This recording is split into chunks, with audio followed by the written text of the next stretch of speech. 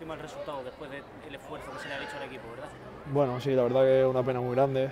Eh, hemos empezado muy bien, teníamos muy claro que queríamos apretarles arriba, acosarles, que no se sintieran cómodos.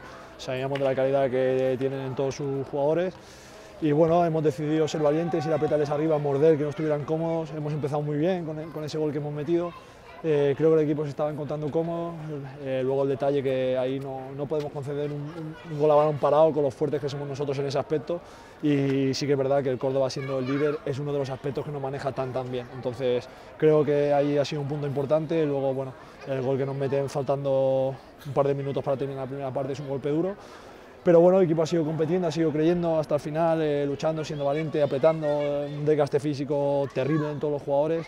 Y bueno, al final en una contra nos han pillado que, que no estábamos todo lo bien que deberíamos y, y nos han metido el tercero, luego ya se nos ha hecho eh, muy difícil. Incluso con 10 jugadores no hemos encontrado situaciones de gol muy muy claras, hemos tenido alguna, pero bueno, eh, creo que es la línea de trabajo a seguir, pero está claro que no es suficiente.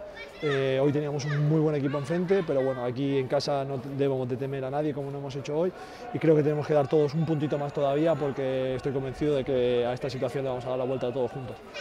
El camino a seguir, ¿verdad? Como has dicho, la lástima, quizá el, el punto de inflexión del partido ha sido bueno, que a los cuatro minutos de empezar a ganar el partido sí que llega esa jugada a balón parado, ahí yo creo que cambia totalmente el partido, como has dicho. Sí, sí, estoy de acuerdo con eso. Creo que no, no podemos conceder ese gol, tenemos que ser autocríticos ahí y bueno, a partir de ahí seguir trabajando, ya te digo, eh, creo que no habíamos encajado un gol de, de, de falta lateral ni, ni, ni, de córner en toda la liga, sí, puede que a lo mejor no recuerdo bien, pero creo que, que es el primero que recibimos, entonces eh, debemos de darle más importancia a eso, porque además durante la semana lo hemos trabajado, y bueno, seguir luchando, seguir unidos como, como estamos y ser conscientes de que todos tenemos que dar todavía un poquito más para darle la vuelta a la situación.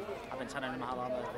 Sí, por supuesto, eh, luego un, un rival directo por por salir de ahí abajo, eh, un equipo que tiene sus virtudes, eh, creo que debemos afrontar la semana eh, con mucho optimismo, creyendo en nosotros mismos, que, podemos darle la vuelta a la situación porque creo, estoy muy convencido de que, la vamos a dar.